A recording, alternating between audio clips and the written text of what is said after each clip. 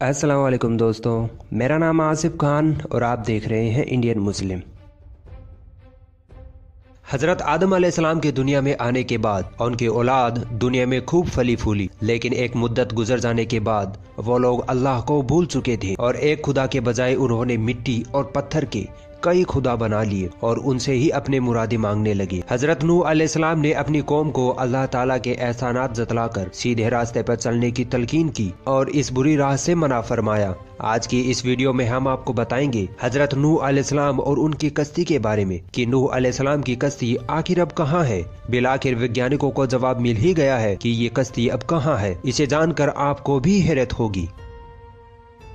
حضرت نو علیہ السلام کو آدم ثانی بھی کہا جاتا ہے، کیونکہ اللہ تعالیٰ نے نو علیہ السلام کی قوم کو اس کی سرکسی اور نافرمانی کے چلتے طوفان اور پانی میں ڈبو کر گرک کر دیا تھا۔ اللہ تعالیٰ کے حکم سے نو علیہ السلام نے کشتی بنائی، جس میں نو علیہ السلام کے ساتھ ان پر ایمان لانے والے، جن کے تعداد تقریباً اسی تھی، سوار تھے۔ اور ہر قسم کے جانور کا ایک ایک جوڑا بھی شامل تھا۔ نو علیہ السلام کی کشتی کا واقعہ دوسرے مذہب کی کتابوں میں دیکھا جائے تو تورات، زبور اور انجیل میں بھی ملتا ہے۔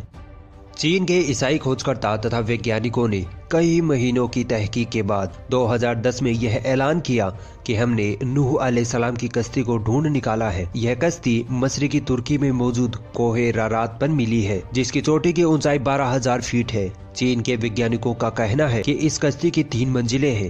یہ کشتی کئی میٹر برف کے نیچے دبی ہوئی ہے۔ مشہور رسالہ Christian Science Monitor and National Geography channel نے اس ٹیم کی رپورٹ کو سایہ کیا تھا، جس میں بتایا گیا ہے کہ پچھلے دو سو سالوں سے تقریباً ایک درجن سے زیادہ ٹیمیں حضرت نو علیہ السلام کی کشتی کو تلاش کر رہی تھی، جس کے بارے میں قرآن میں آتا ہے کہ وہ ایک جودی سے ٹکرا کر رک گئی تھی۔ چین کی اس رپورٹ کو امریکہ نے ماننے سے انکار کیا اور ان کا کہنا ہے کہ کشتی سے ملے لکڑی کے ٹکڑے اتنے پرانے نہیں ہیں کہ ان کے بارے میں کانفیڈنس کے ساتھ کہا جائے کہ یہ نوح علیہ السلام کی کشتی کے ہی ٹکڑے ہیں۔ امریکہ اسے نوح علیہ السلام کی کشتی ماننے سے اس لیے انکار کرتا ہے کیونکہ وہ اسلام کا سب سے بڑا دشمن ہے۔ جبکہ چین کے ویگیانکوں کا دعویٰ ہے کہ وہ 99.9% یقین سے کہہ سکتے ہیں کہ یہ وہی کشتی ہے جو حضرت نو علیہ السلام نے چار ہزار آٹھ سو سال پہلے اللہ کے حکم سے بنائی تھی چین کے ماہرین کا کہنا ہے کہ اس کشتی میں تین منزلیں ہیں اور اس میں کئی بڑے بڑے کمرے ہیں ان کمروں میں لکڑی کے ستون ہیں چین اور ترکی کے کھوج کرتاؤں نے قرآن میں لکھے نوح علیہ السلام کے واقعے کے ذریعے اس کشتی کو ڈھونڈا۔ رپورٹ کے مطابق اس ٹیم نے ساٹھ سے زیادہ مقامات سے کشتی کا مشاہدہ کیا۔ یہ کشتی کئی جگہ سے ٹوٹی ہوئی ہے، مگر پوری طرح سے تباہ نہیں ہوئی ہے۔ یہ برف کی سطح کے نیچے دبی ہوئی ہے۔ ویگیانکوں کا کہنا ہے کہ اس کشتی کا ہر کمرہ پانچ میٹر اونچا ہے، جس میں کوئی بھی جانور آسانی سے آ سکتا ہے۔ چینی ویگیانکوں نے کشتی کے ٹکڑوں کی ریڈیو کاربنک ٹیکنالوجی سے جانچ کی اور دعویٰ کیا کہ یہ چار ہزار سال پرانی کشتی ہے۔ امریکی ویگیانکوں نے اس کشتی پر سوال اٹھاتے ہوئے کہا کہ اتنی بڑی کشتی بنا لنگروں کے تیر ہی نہیں سکتی۔ اسی کے چلتے ترکی اور چین کے کھوج کرتاؤں نے اپنی تحقیق کو مزید بڑھا دیا اور پہاڑی کے نیچے کے گاؤں میں انہیں ایسے بڑے بڑے پتھر ملے جن کے اوپری حصے میں چھید کیے ہوئے تھے۔ یہ وہی پتھر تھے جو نو علیہ السلام نے اپنی کشتی سے لٹکائے تھے۔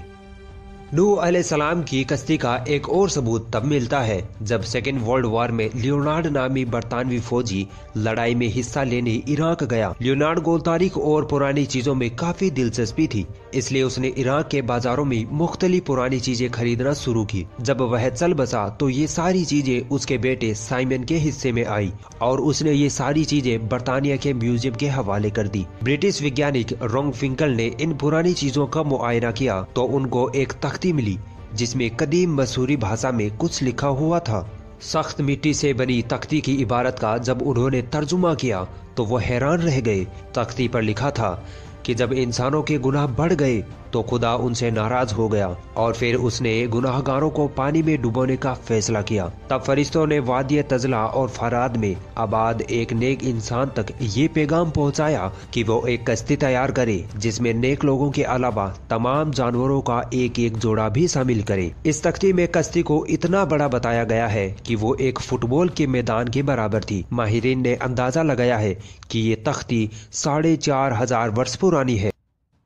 عام طور پر اسلام کو نئے ماننے والے ایسے واقعات کو افسانوی قصے قرار دیتے ہیں، مگر یہ تمام ثبوت ان کی آنکھیں کھولنے کے لیے کافی ہیں۔ قرآن پاک میں نو علیہ السلام کی کشتی کا واقعہ موجود ہے۔ قرآن پاک میں نو علیہ السلام کا نام تہتر مرتبہ آیا ہے اور ان کی عمر نو سو ورس تھی۔ جب نو علیہ السلام کی قوم نے نافرمانی اور سرکسی نہ چھوڑی تو نوح علیہ السلام نے اپنی قوم کے لیے اللہ سے بد دعا کی۔ اللہ نے آپ کو کشتی بنانے کا حکم دیا۔ دو سال کی مدت میں کشتی تیار ہوئی، جس کی لمبائی تین سو گز، چوڑائی پچاس گز اور اونچائی تیس گز تھی۔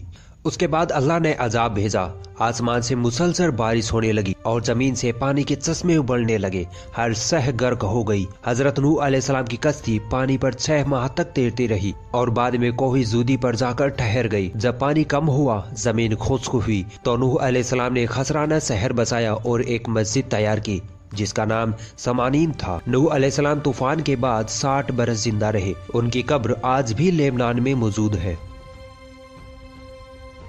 اگر یہ ویڈیو آپ کو پسند آئی تو اس ویڈیو کو لائک ضرور کریں اور بھی ایسی انٹرسٹنگ ویڈیوز دیکھنے کے لیے ہمارا چینل سبسکرائب ضرور کریں اور اس گھنٹے کو بھی دبائیں تاکہ جب بھی ہم کوئی نئی ویڈیو ڈالیں تو اس کا نوٹیفیکیشن آپ تک سب سے پہلے پہنچ جائے۔